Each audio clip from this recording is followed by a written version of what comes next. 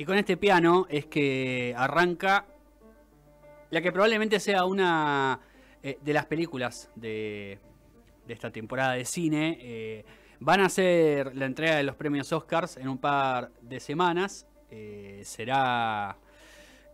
en marzo que se den las premiaciones y una de las películas nominadas se llama Anatomía de una caída. Anatomy of a Fall. Una película que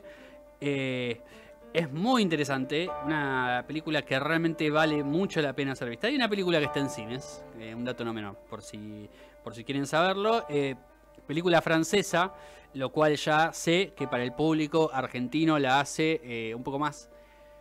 compleja o,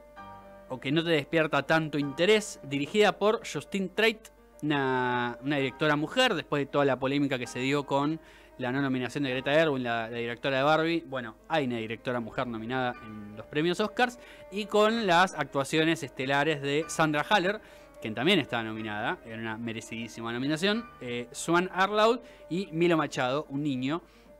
que realmente también actúa muy, pero muy bien. Eh, ¿De qué trata la película Anatomía de una caída? ¿Cuál es el argumento? ¿Cuál es la historia? Básicamente es eh, un matrimonio eh, un matrimonio de artistas, escritores ambos, que parecieran no estar pasando por su mejor momento, eh, pero bueno, viven juntos, tienen un hijo de aproximadamente 10 años, un hijo que es ciego, y eh, todo empezará con ella, la mujer del matrimonio, recibiendo a una estudiante que le quiere hacer una entrevista justamente para, para hablar de su obra, digamos, y para hablar un poco de su proceso creativo ya empezaremos a sentir en ese momento la tensión. Eh, el marido que, según las palabras de su esposa, está trabajando arriba, eh, haciendo una obra de la casa, va a poner una canción en repetición constantemente, una, escena que va subiendo todo el tiempo la tensión, eh, lo que va a hacer que, bueno, se interrumpa la entrevista y mientras nosotros seguimos al, al, niño paseando a su perro, entre paréntesis, el, perro, digamos, el, perro en la vida real se llama Messi, así que ese también es un dato interesante si, les interesa. Eh, mientras nosotros acompañamos al niño paseando a su perro, eh, a la vuelta, cuando ella está volviendo a su hogar, se va a encontrar a su padre muerto. Eh, en las afueras de la casa. Y ahí es cuando empieza el, digamos, el verdadero argumento, si se quiere, en, en lo más técnico de la película. Es una película sobre un juicio, sí, lo es, eh, pero también es una película sobre la relación y la composición o descomposición que puede sufrir un matrimonio. Eh, Anatomía de una caída es, digamos, va a seguir la vida de esta mujer eh, que es acusada de, haber asesinado a su esposo, que es defendido por un abogado amiga de ella de toda la vida y que va a ver en el juicio que le van a hacer cómo su vida, su intimidad, su relación con él son eh, desgarrados y expuestos ante la vista de todo el mundo con tal de, probar un punto. Eh, es una película que está muy bien hecha porque ciertamente películas sobre juicios hemos visto muchísimas, pero películas sobre juicios donde el foco no esté puesto tanto eh, en el hecho en sí, en la investigación policial o en la investigación detectivesca, sino más bien en los argumentos que dan, digamos, los acusados eh, y, los acusadores, eh, no son tan, digamos, tan, tan, tan fáciles de encontrar. Y esta película lo tiene, esta película lleva muy bien eh, los, los, dos tonos, digamos, lleva muy bien el tono del juicio y de la película de la película de investigación, donde uno quiere saber qué es lo que pasó, pero también lleva muy bien ese tono intimista,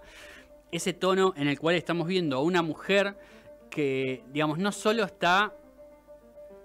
está triste y, está impactada por la muerte de su esposo, sino también tiene que, digamos, sobreponerse a todo eso para tener que defenderse de las acusaciones, digamos, ¿no? Y en el medio tiene que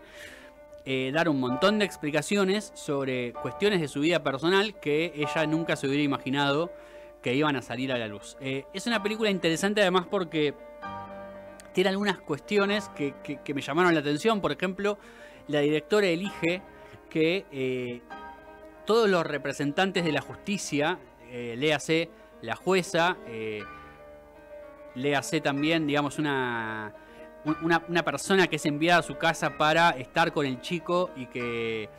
y que la madre no pueda manipularlo o no pueda llenarla de ideas, teniendo en cuenta que ella es la acusada y él es obviamente uno de los testigos, eh, son personajes que insisten constantemente con la idea de que la justicia solo busca la verdad y que la justicia tiene que ser ecuánime. Eh, intentan nunca meterse eh, ni, inmiscuirse en cuestiones que no, que no tengan, digamos, nada que ver. Y ese es, un concepto que es llamativo porque seguramente nosotros estemos acostumbrados a ver películas donde la justicia es eh, o cuestionada, como corrupta o, mínimamente como ineficiente, o que estamos acostumbrados a que no se le dé ningún tipo de importancia a, digamos, a toda esa parte del juicio y que nos importe más que eh, cómo se defienden los acusados y cómo se lo acusa desde el lado de la fiscalía. ¿no? Eh, hablando de la fiscalía, el fiscal, un personaje increíble, quizá de los mejores personajes de la película, un tipo que eh, se gana el odio de la audiencia por la forma y por la manera en la que intenta pinchar constantemente a la acusada. Eh, y, una película que va tomando forma de a poco, eh, si bien es una película francesa, es una película europea, sabemos que suelen ser películas un poco más lentas, en este caso está muy bien llevado, sobre todo porque sabe jugar muy bien con el hecho de que nosotros estamos básicamente siguiendo el juicio en vivo, porque nosotros no sabemos qué es lo que sucedió eh, con el esposo muerto, nosotros no sabemos realmente si ella lo hizo o no, obviamente podemos tener eh, nuestras sospechas, pero cada elemento que nos va dando el mismo juicio y cada argumento que utiliza la fiscalía y cada argumento que utiliza la defensa nos va tironeando de un lado para el otro eh, para terminar por no, por no poder definirnos por sí o por no si ella es realmente la culpable. Lo cierto es que, por lo menos en mi opinión, digamos, que ella sea o no culpable no es el argumento tampoco de la película y por eso es que no se hace tanto hincapié en esa cuestión. Eh, sino, insisto, en la cuestión de las relaciones, que está explorado de una manera increíble. No solo la relación que tienen, que tienen ellos, digamos, hay varias escenas donde podemos verla a ella hablando sobre él, contando eh, cómo, lo sentía, cómo se conocían, qué relación tenían. Eh, también muy interesante ver la relación que ella tiene con su hijo, la relación que el hijo tiene con ambos. Eh, tremendo, tremendo pensar en un niño de 10 años teniendo que enfrentarse de golpe a, situaciones que él o desconocía o que por lo menos no, no estaba habituado, digamos, porque era un niño y se entiende que siempre habían querido cuidarlo de determinadas cuestiones, pero de golpe, ante la crudeza de la justicia que no, que no entiende de, esas cuestiones, es expuesto a eh, un montón de información sobre sus padres que seguramente él nunca había visto. Eh, es una película que está, que está muy bien hecha, que está hecha con muchísima delicadeza, que tiene escenas que son realmente increíbles. Eh, que está muy bien planteada desde lo personal, que está muy bien planteada desde lo judicial, que está muy bien planteada desde lo actoral, eh, que tiene planos tremendos, que tiene una música realmente que, es inmersiva, que te mete en la historia completamente, y que además tiene una construcción de los personajes que es eh, en algún punto abrumadora, digamos, porque la verdad es que ese arco en ella, teniendo que defenderse de la acusación de asesinato de su esposo y un chico, eh, teniendo que en algún punto hacerse hombre y crecer, digamos, para tener que también sentar posición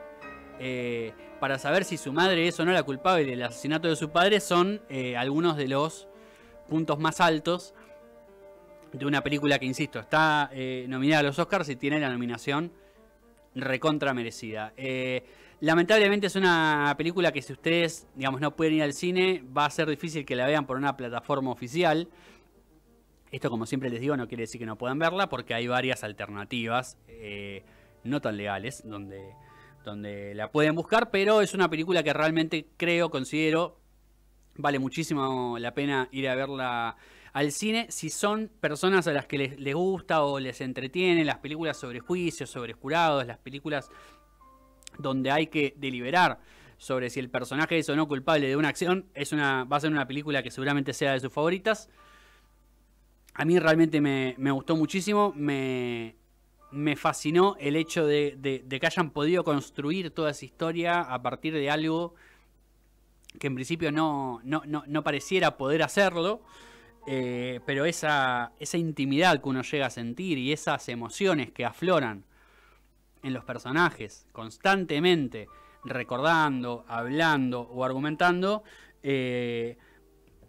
son una realización realmente impecable. Anatomy of Fall, Anatomía de una caída es el nombre de la película. Les vuelvo a repetir, Justine Trade es la, directora. Sandra Hallerson Arlud y Milo Machado son eh, los protagonistas. Está en cines, así que yo les recomiendo que vayan a verla. Y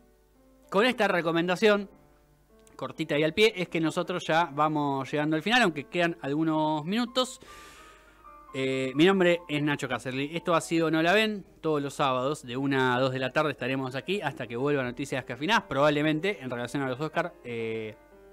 volvamos con el programa cerca de esa fecha como para poder charlar sobre todas las películas. Y ya que teníamos una canción preparada, eh, va a durar un poco más, pero bueno, Elian, la, Elian, nuestro operador, a quien le agradezco muchísimo, podrá pisarla cuando a él le parezca conveniente. Nosotros nos vamos a despedir. Tú, I Wanna Know de los Arctic Monkeys y nosotros nos veremos recién el próximo sábado a la una de la tarde haciendo No la ven.